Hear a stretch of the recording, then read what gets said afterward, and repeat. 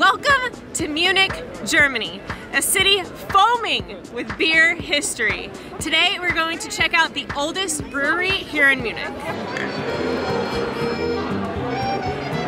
I think we like Munich. This is something I've been looking forward to since we booked this trip months ago. It's true. But do you like beer?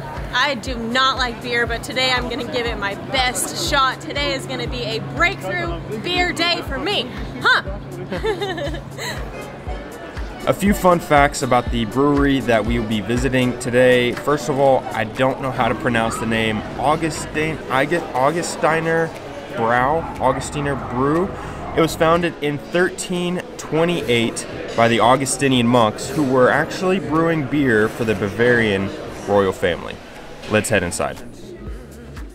This is not at all what I thought it was going to be like in here. I expected people high-fiving, jumping on tables, like really long tables with like a bunch of people at them, but there's like families and grandmas and us, so gang's all here.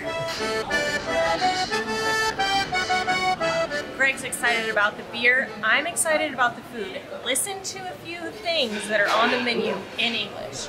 Boiled corrugated meat. Yeah, baby. What about the slaughter bowl with blood and liver sausages? Sauerkraut mashed potatoes. This is also not what I expected. I didn't really know what to expect. I did expect long tables. I didn't expect people like dancing on tables necessarily. um, Um, I did expect like a big, a bigger hall. Maybe just I've seen like Oktoberfest pictures. Maybe I'd pictured that type of atmosphere. I forgot possibly the most important thing that we're doing in today's video. Not only drinking beer, trying traditional German food, like the slaughter bowl. Corrugated meat. And corrugated meat.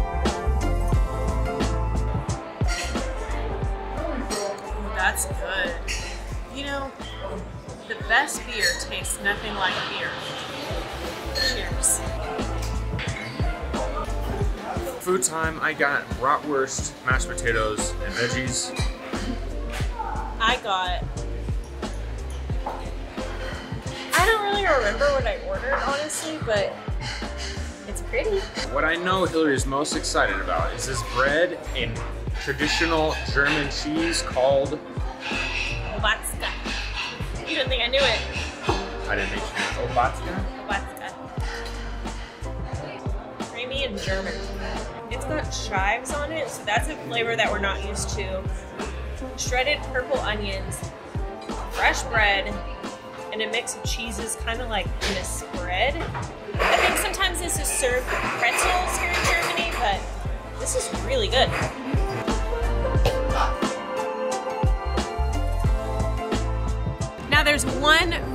About trying beer in Munich, Germany. Gotta try it at more than one place.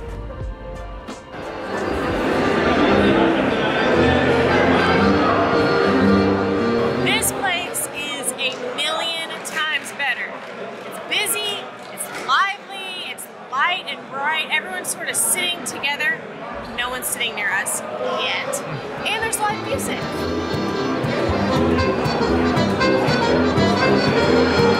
Definitely a much more fun atmosphere here. And while we, you know, had a good time at the first place, I think this is our place. I think Munich is such a fun, vibrant, lively city, or at least that's what we found in our last few days here. And I think this place is a good representation of that.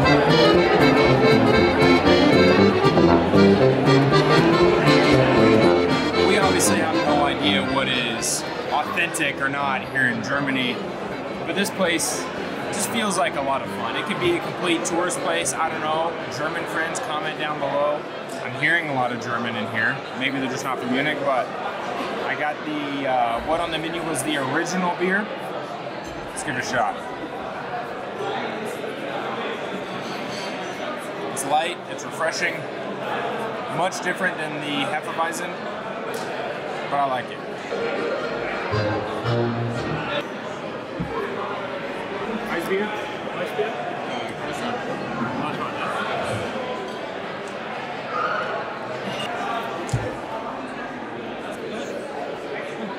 Last beer in Germany, unless I go crazy at the airport, which I might. So it's probably not my last one, but I decided to go with the big one, the liter Hefeweizen. I'm gonna enjoy every sip of this. Five minutes later. I lied. We got pressured by our friends here to get another one. This is, uh, they described to me this is the red beer. Oldest beer in Germany, I think is what he, did he say that? Yeah. I thought that's what he said. Let's give her a shot. I feel like Hillary's gonna laugh at me because after a few drinks I say everything's really good, but that's really good. This extra beer means Greg is at two and a half liters of beer because our friends suckered him into it. I think we like Munich. That's a lot of talk from somebody drinking Riesling out of a water bottle. I know, I know. I'm doing the best I can. Here's the thing. I don't want to finish this beer. Finishing this beer represents finishing our time in Germany. So I think I'm going to take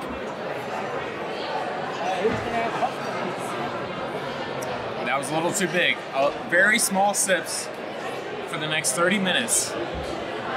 Just kind of nurse this beer. I don't want this time to be over.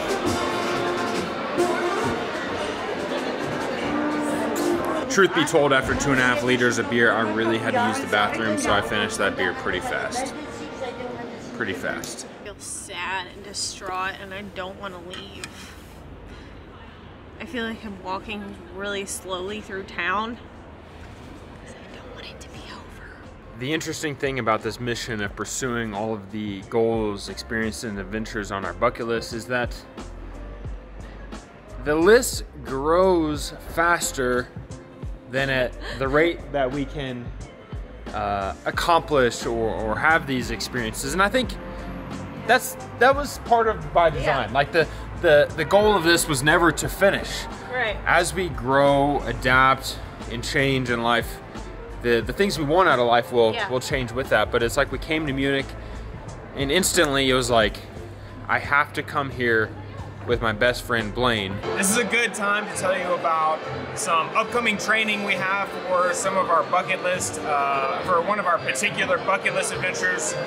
Some of our adventures include running 100 miles. While most of these are my crazy ideas, running 100 miles. We want to run from Veracruz to Mexico City. That's a very specific race. I want to complete an Ironman. So a lot of our bucket list adventures are going to require quite a bit of training. Also, one of the bucket list adventures, an official bucket list adventure, is going to Oktoberfest. So, I say this, I declare this day one of training for Oktoberfest. Probably won't happen in 2022, 2023. Also, I would like to add something to the bucket list as an official statement something that actually Hillary and I talked a lot about. One thing we want to be able to do through these adventures is bring our family, friends, and you all on some of these trips. That would just be incredibly special to us. So, adding to the bucket list is bringing my friend Blaine. You all know Blaine. Bringing Blaine to Munich, Germany. If we could combine it with Oktoberfest, that would be nice. We're gonna work on it. And so this isn't like a go to X amount of countries and then we'll be done type of thing. This is a travel, learn, experience, grow, Evolve. evolve, Change. repeat, and and I don't know. You're watching that process happen pretty much in real time, and hopefully that's hopefully that's the interesting And today part. I'm sad. And what? Today I'm sad. I'm sorry. Today I'm sad because I don't want to leave. Hi, can I get one of the spicy sausages? Uh, no thanks. We refuse to let the Munich adventures end. Hey, that was mine. Woo! That's hot. Mm. We're not letting you go yet, Union. not yet. When you think of Germany, you think of beer. And when you think of beer, you think of Germany. And that's precisely why we did what we did today. The oldest brewery in Munich turned out to be a bit of a disappointment for us, but then going to HB, I'm not gonna try to say it. We had the absolute time of our lives. We met new friends.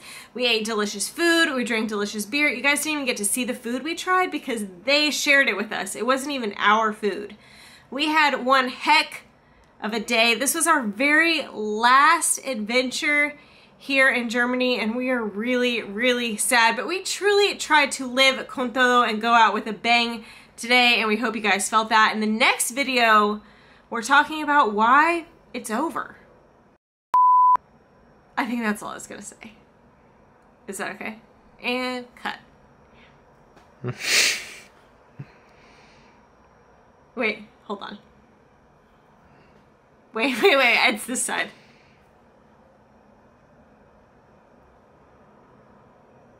Is that right? Huh?